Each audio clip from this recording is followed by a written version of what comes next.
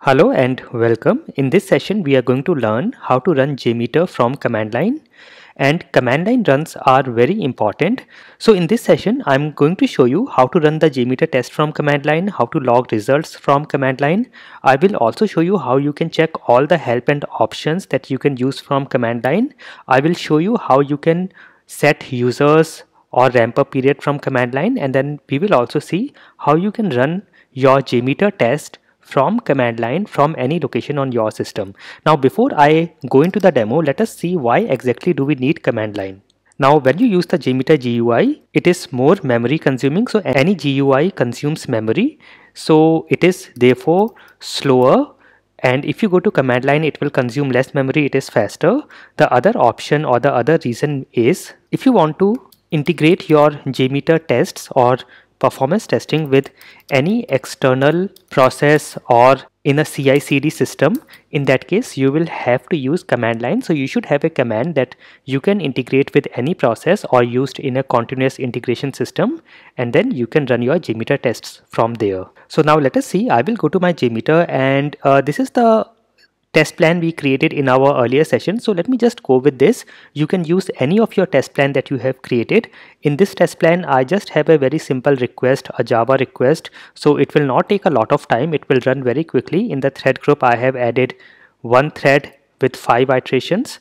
And now I will first go to my JMeter bin folder. So you go to your folder wherever you have your JMeter folder on your system. I will also tell you on Mac. So the step is same for Windows or Mac. That is step number one. And let me increase the font for you. So step number one is go to jmeters bin folder. And here this is my bin folder of jmeter and now you have to go to your command line and go to this location. If you are on windows you can directly go to this address bar and say cmd and hit enter. You will see it opens command prompt on the same location wherever your bin folder is. Or manually you can copy this location and open your command prompt. And then so here uh, let me just copy this location.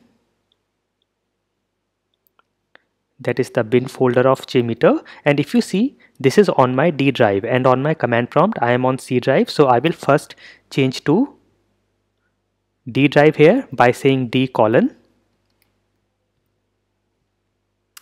and enter. And now on my D drive I will say CD to change directory and I will give the location of my JMeter folder. So let me do it again.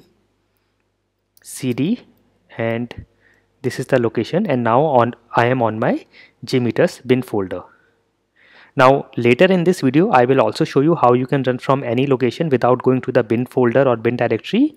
And then the first thing you can check is you can say JMeter and if you are on Mac you will say sh and then jmeter dot sh and then the rest of the command or it should be sh jmeter. Let me show you in the notes. It will be very easy for you to follow from here. You have to give the command. You have to say jmeter and this should be in all lowercase. And then you have to say minus n minus t and minus l. Now minus n means non-GUI mode minus t means you have to give the location of your test file or your test plan. So after minus t you will give a space and give location of your test file that is your jmx file and minus l is to log the results. So here after space you will give the location of results file where it will log the results. Now there are other options also that you can use. I will tell you that later but this is the very basic command and this command will work on windows. If you are on mac you will use the same command but then you will add a sh before this. So this is this will work on mac or linux also. This is for mac or linux and this is for windows. So let me also put this. This is for windows. This is for linux or mac. So i will go here and i'm on windows. So i will say jmeter. And here i should say open console or command line. In case of mac it will be terminal and then go to this location and then run the command. This is the command. So I will say jmeter minus n and minus t and minus t and then I will give the location. And it is good to use the quotes here. So just in case there is any space in the location or the path of your test file it will not break if you put it in quotes otherwise you can also add it directly but then make sure there are no spaces. So it is always better to use quotes. Now the test plan i'm going to use is the same that i am i'm using here. And if i go to the top and see this is the location it is in my jmeter bin folder and then templates and config elements.jmx so in that case uh, what i can do is i'm already running this command from my bin folder. So i can directly go to the templates and then i will say config elements.jmx.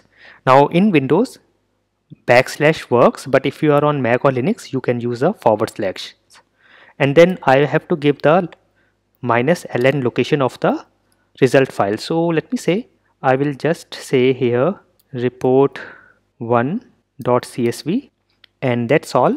If I hit enter now it will start execution of my test plan as configured on JMeter and yes it has run. You can see the summary here and everything is done. I can check the report file. If I go here I will see this should be this one report1.csv and you can see here.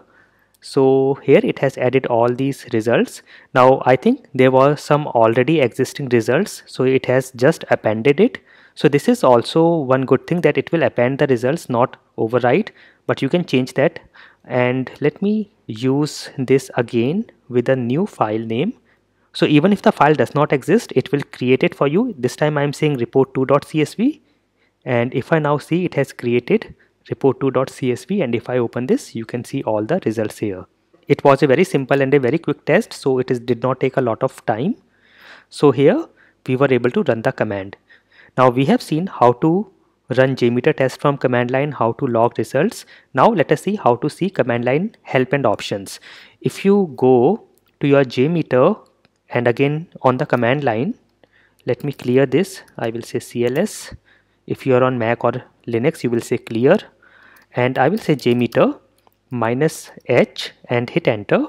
And you will see here, it shows all these documentation on command line also it says if you want to see all the command line options you can say jmeter.bat and minus question mark on Windows and on Linux or Mac you can say jmeter.sh and hyphen question mark. I will show you this later but here you can see to run Apache in the GUI mode you can open a command prompt and this is what you should use. Now here we have just used jmeter not jmeter.bat but you can also use jmeter.bat which will mean the same thing because this is the only bat file or the batch file in our folder. And similarly for Linux or Mac you will you can say jmeter.sh and here is the command. We use minus n minus t and minus l.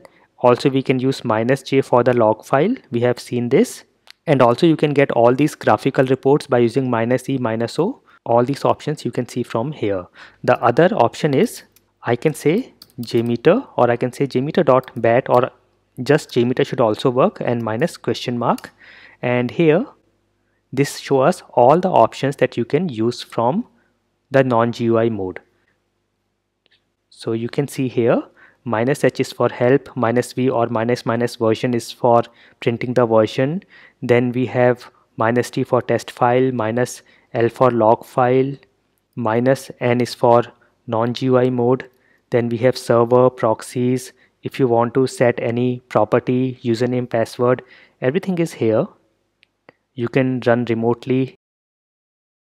So this is how you see command line help and options. Now before i tell you how you can run from any location on your system in JMeter, you can also set the users or threads from command line and you can set other parameters like ramp up time and everything from command line. And for that, you can go on my website that is automationstepbystep.com. And here, if you scroll down under performance testing section, you will see a section for JMeter tips and tricks.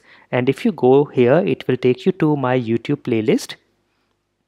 And here you will find all these videos how to set thread users from command line and all these options and videos how to create aggregate result CSV from command line and then how to run specific thread from command line. So this will be very useful. You can check all these videos if you like to.